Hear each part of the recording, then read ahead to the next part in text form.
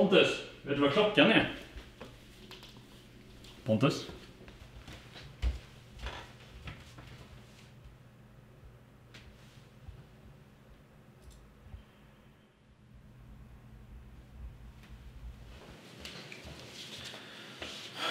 Så det är sant. Farm Simulator på Pontus arbetsdator. Jag trodde inte sånt här hände. Pontus, du vet ingenting om det här? Va? Nej, nej, nej, nej, nej. Va? Nej. Då måste det vara ett virus eller någonting då? Nej, det är absolut inte ett virus det här, utan eh, det är definitivt någon som har spelat. Jag går iväg och ringer samtal så ser vi vem som har tillgång till datorn. Nej men vad fan. 63 timmar har aset suttit och spelat. Det är en sjuk jävel vi har att göra med här. Pontus, det är inte så va, att det är du som har... Nej, nej, nej Daniel. Det får du verkligen inte tro. Sådär, nu har jag ringt ett samtal och vi har ingen vaktmästare längre. Han var den enda som hade tillgång till rummet, så ja. Okej, det var jag. Men det är väl inte så farligt. Jag visste att det var något fel på dig. Ända sedan andra dagen när du började här och vi åkte förbi den där skördetröskan. Tro inte att jag inte såg de blickarna Okej, du gav vi kan den. prata om Men det här i alla fall, aldrig, Adrian. Aldrig hade jag kunnat tro att du var en så störd individ. Och kom aldrig tillbaka! Varmt välkomna! Idag så tänkte vi prata om ett fenomen som uppstått de senaste åren. Eh, Jag har med mig Pontus och Marcus och det vi tänkte prata om är framförallt det här kring spel som man kan köpa innan de faktiskt är i närheten av att vara klara. Att köpa ett alfaspel. Early access. Early access är ju ett uttryck som har uppstått. Eh, och Minecraft är väl den som verkligen drog igång det här. Att, eh, Banade vägen för allt det här som har kommit. Precis, Marcus som gjorde Minecraft då, inte du. Nej, nej, nej. Ha- Han behövde ju Jättebra. pengar för att klara sig medan han fortsatte utveckla spelet. Så han började sälja spelet som en alfa innan det var Mm. klart. Mm.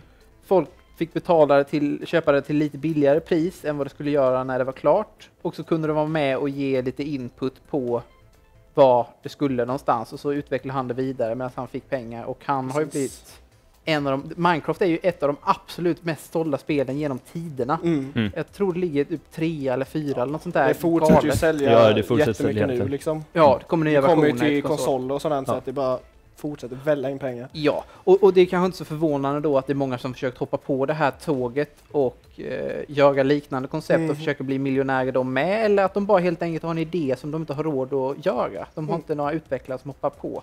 Vi tänkte bara liksom diskutera kort för och nackdelar med det. Har, har ni något exempel utöver Minecraft som vi skulle kunna dra upp?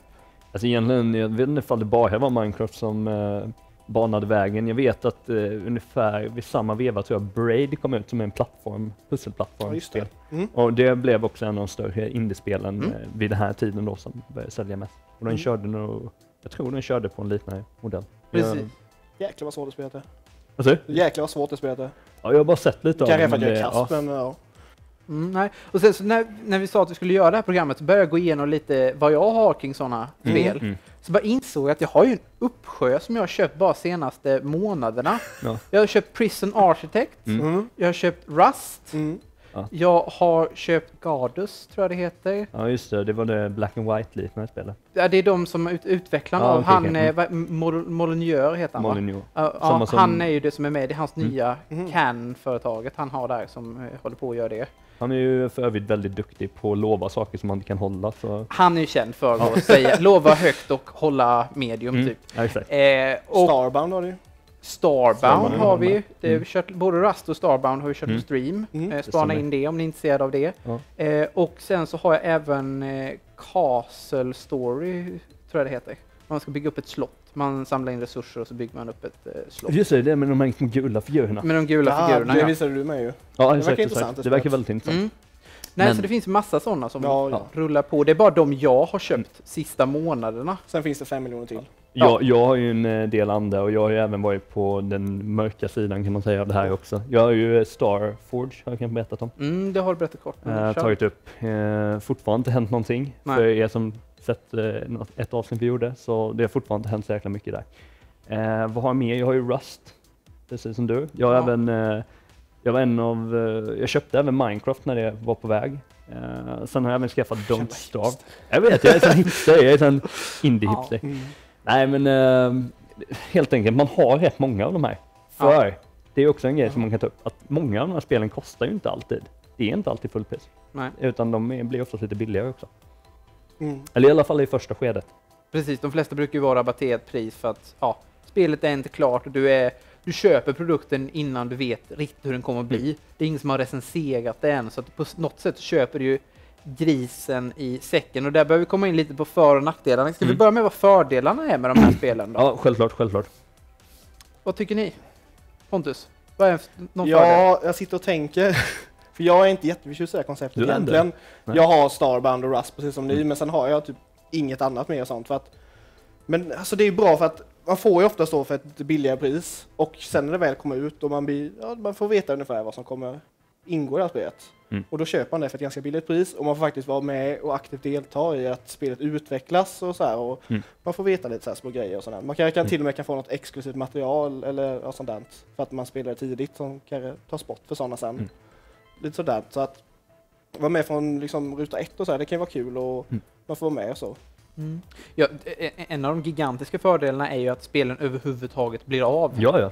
För, för många av de här är sådana att de skulle aldrig kunna få en, ut, eh, en utgivare med sig. För de flesta spelen som görs idag som är stora budget, eh, med stor budget och så, det är att det är ett spelutvecklare som vill göra ett spel Mm. och så går de till eh, spelutgivarna som Mm. EA och Activision Mm. och allt vad de heter och begär då att få pengar för att göra det här spelet. Och så får de de pengarna och så gör de spelet och så hoppas utgivarna på att tjäna tillbaka de pengarna. Många av de här projekten är alldeles för riskabla då enligt Activision och Mm. EA och alla Ja, andra utgivare. Ja. Mm. Och då blir det istället crowdfunding, alltså att eh, vi som användare är med och betalar som Kickstarter-projekt eller eh, Mm. ja, liknande. Och Valve har ju sitt Greenlight som de har infört Ja. på sista tiden där användarna är med och röstar fram då vilka spel som Precis. ska utvecklas. Så att de överhuvudtaget blir av Ja, är ja. ju en Mm. av de gigantiska fördelarna. Sen får man ju tänka på det att många är ju eh, inga etablerade spelföretag. Många sitter där ute och kanske håller på med ett lagerjobb eller kontorsjobb Ja, ja, eller. Som sitter och har drömmen om att kunna bryta sig in i spelbranschen. Mm. Och det är inte alltid så lätt alltid att eh, ansöka, inte precis som att man börjar från scratch och söker till DICE och så plockas man upp av dem och så börjar jobba på nästa Battlefield. Mm. Det är i alla fall inte normen. Nej, är inte om du har en jättebra spelidé heller. Nej, nej, nej, nej. Utan då är det nästan till omöjligt. Ja, och ska du få fram en spelidé, då krävs det ju nästan att du varit med i branschen i flertal år och jobbat på grejer och kunna visa där vad du kan för att överhuvudtaget kunna lyfta fram dina egna projekt Mm. senare. Men då är det många som känner, kanske sitter kvar på det här kontoret eller på det här lagerarbetet på grund av helt enkelt, de vågar inte ge sig, alltså sätta sig och jobba med det här så mycket för de vet att ska vi göra det och ska jag kunna förverkliga min idé så kommer det kosta en jäkla massa pengar Mm. att få det här. Och då vet de att, och de massa tid också. Och då får de antingen säga upp sig från jobbet de håller på med, eller så får de hobby, alltså jobba med det som en hobbyverksamhet och då kan det ta liksom åtta år eller någonting för dem att få ut det här. Mm. Och Beroende på skala då på spelet som Mm. de gör.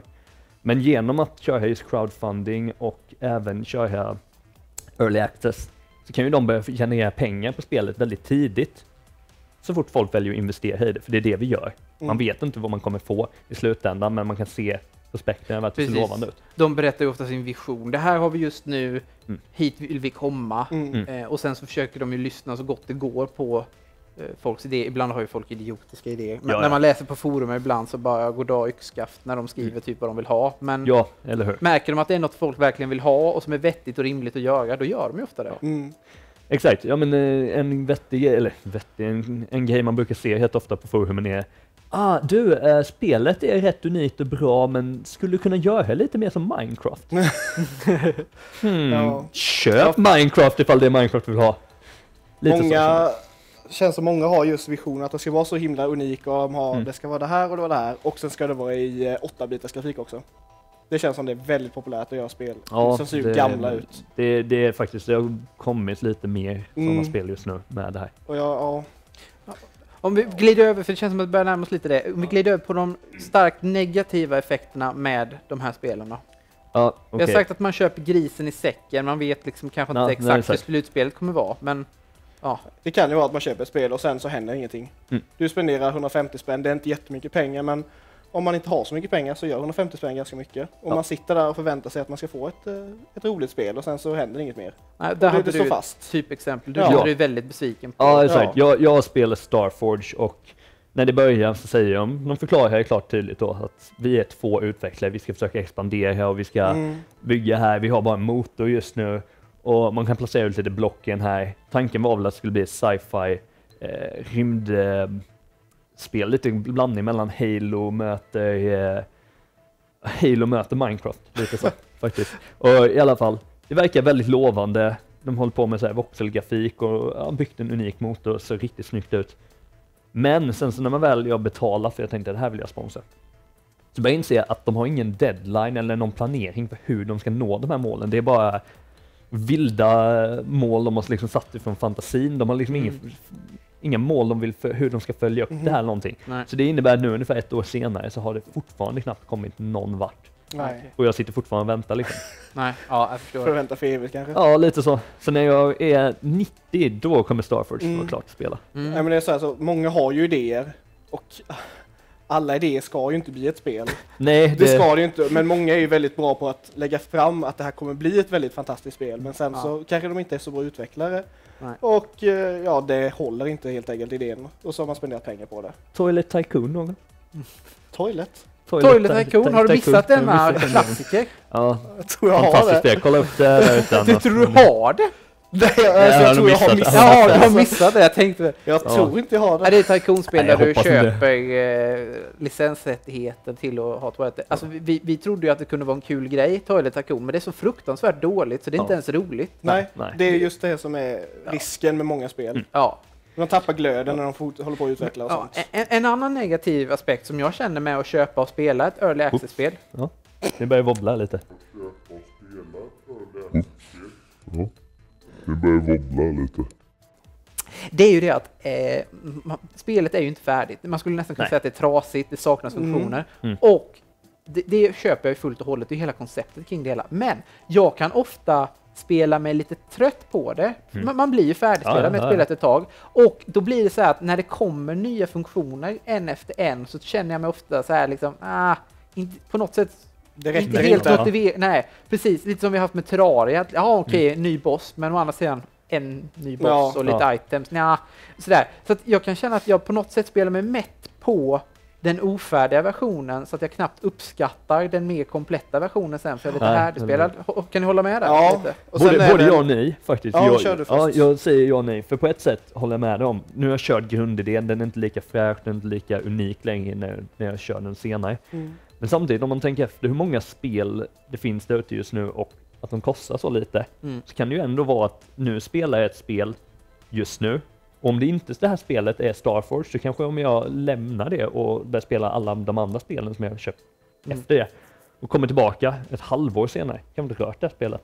Och då upptäcker jag shit, det är it's like a whole new game. Ja. Nej men det har liksom kommit så mycket content Ja. så att nu har det faktiskt blivit Mhm. kul att spela det. Men jag, det är nog kanske att jag har svårare att återfå den här gnistan igen. Mm, Ja, lite du har Eh. helt fel Marcus. Men en Tack. sak som är lite jobbig med sådana, det är, som både med Starbound och Rust då, det är att, och det är ingenting som egentligen en utvecklare kan hjälpa, och det är att eh, karaktärer och sånt wipas. Mm. Och det är alltså, det går ju inte direkt att undvika det, men det är väldigt irriterande.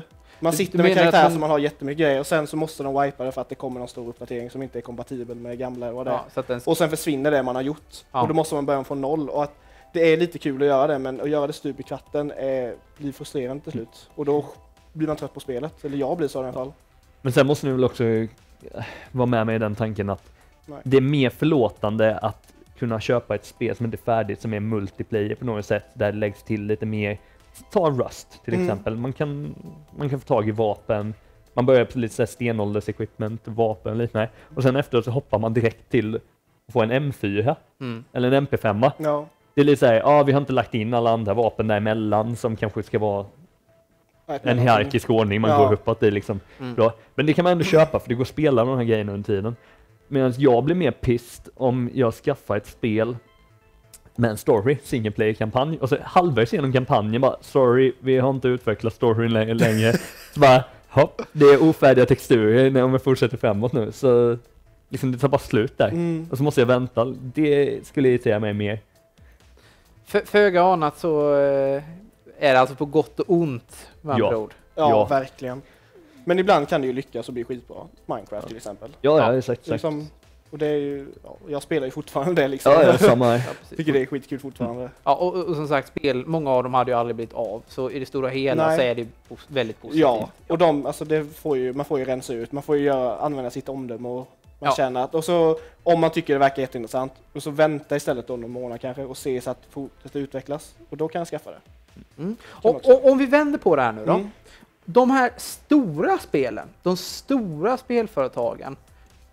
Tänk Assassin's Creed, Call of Duty. Mm. Ja, är de, Eh, är de spelföretag nu? Jag tänker det, de stora spelföretagens storspel. Ja, okej, då är jag med. Som Assassin's Creed, Mm. Call of Duty eller mm, Total War. Mm. Om de skulle börja släppa Mm. dem som alfo, är det no någonting vi skulle kunna tänka oss? Skulle det funka på alla spel? Skulle det kunna funka Skulle på det vissa? vara så då att man betalar mindre pris och sen så slipper man betala fullpris när det är klart? Berätta för mig hur det ska vara. eller så är det så att man måste betala för att vara betatestare. Det låter lite sniket. Mm. Ja, nej, men, Men, skulle det man skulle säga vara- att det kommer ett, ett nya Total War, Total War eh, Sverige, eh, och att eh, man får köpa det för 200 kronor och få det i alfan kanske, och sen när hela spelet kommer så får man det då för de här 200 kronorna betalat. Ja. Då skulle jag kunna tycka att det kan funka, men sen är det ju mycket feedback man får. Man kanske bara blir glad av att få ha spel tidigt och sen så skickar man ingen feedback. Men, men om vi utgår från Total War nu då, Ja. i och med att vi är inne på det. För både du och jag älskar ju Total Ja. War-serien, strategispelet i Ja. PC. Ja. Senaste Total War som släpptes var väldigt buggigt, Rome Mm. 2 när det släpptes. Jag hade, det hade funkat mycket bättre för mig och jag tror det hade blivit mycket mindre ramaskri mot dem om de hade sagt eh, släpp det som var där i början som en alfa. Alltså att Ja. vi rekommenderar knappt det ens att köpa det just nu. Mm. Men betala fullpriset nu så får ni access nu och så får ni spelet när det kommer. Men tänk dig in i det andra scenariot då, att det är EA Games, nu kan det de som släpper det här, men i alla fall. Nej, Sega. Ja, Mm. exakt. Men i alla fall, bara- säga att det skulle vara EA Games som är kända för att de bara vill krama ut pengar hur många Ja. sina releaser. I det fallet, så vad är det som hindrar dem från att, ah, nu har vi fått det här pengar för det här, eh, så nu är vi inte lika motiverade att utveckla så bra, liksom vi, vi tar, låter det dra ut lite tiden. Det skulle nog göra så att de aldrig kommer få folk som köper igen. Ja, Å andra sidan tenderar vi gamers till att Ja, liksom bara bara... förlåta, vi snackar väldigt- ena Alldeles för stunden. förlåtna för nästa spel ser Ja. för flashigt ut Ja, så vi ska slippa, skippa det. Men jag är lite inne på Pontus tråd med att om biter de den som matar en, alltså Mm. vi matar ju dem med pengar, Ja. biter de oss i handen för många gånger så kommer det till slut. Jag hade ju aldrig köpt ett spel från det företaget igen, även om de har gjort ett världens bästa Total War-spel igen då, inte EA utan Sega. Ja. Och de hade bara släppt Rome 2 jättedåligt och sen slutat utveckla det bara för att jag redan har betalt. Då skulle jag aldrig köpt ett Total War-spel igen. Nej, sen så är väl tanken att de på något sätt ska lägga upp det så att alla kommer inte köpa det. Ja, nej, jag vet inte. Nej, men helt- helt, helt- helt- helt som enkelt. Marcus sa menar jag. Helt enkelt så här, jag säger nej till de stora spelen, jag säger nej, släpp dem så som de håller på med Ja. idag. Jag, Jag tror faktiskt inte det skulle behövas heller, för de har folk som ändå testar det hela tiden. Sen att det kan inte bli så bra ändå som Rome. Nej. Så, men eh, nej. Jag tror inte det kommer komma i alla fall. Nej, jag säger hellre längre betatestningsperioder och sånt. Mm. Eh, Mm, det är bättre om inte de kör två månader skjuter upp, liksom. eh, liksom försena spelet istället. Jag kör Blizzard- Blizzard-modellen eh, och kör det här ett. Nej, spelet var nästan färdigt, 95% men fuck it, vi börjar om för vi tycker inte att det håller standard. Jag gillar hellre med det för då vet man eh, att det här är bra det vi får. Ut alltid. Sen har ju Blizzard en annan ekonomisk Ja. situation. de Jo, det det kostar de, ganska det mycket pengar att bara skrota Men, ett spel och börja om från början. Jo, jo, Men är det. visst är det där. något speciellt med Blizzards kvalitetsstämpel på sina spel, Ja, det, det är är det ju definitivt. Men med andra ord så är det antagligen ingenting för storföretagen att ha det där och de stora spelserierna, men att det är fantastiskt att det har kommit så att vi kan få Ja. vissa indiespel som aldrig hade funnits Ja, innan. faktiskt. Ska vi sammanfatta det så? Jag tror det. Då slår vi på det. Var, var vi klara här? Jag bara, bara sett domarna på tv typ avsluta så, men det, det blev inte lika... Det var inte så mäktigt som du trodde.